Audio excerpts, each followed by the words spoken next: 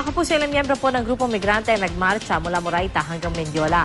Panawagin po nila kay Pangulong Nonoy Aquino pigilan ang nakatakdang pagbitay sa OFW na si Joselito Zapanta sa Saudi Arabia bukas. Una nang dumulog sa tanggapan ni Vice President Jejo Marbinay ang pamilya ni Zapanta para humiling ng blood money na 5 milyong Saudi Riyal o katumbas ng mahigit 50 milyong piso.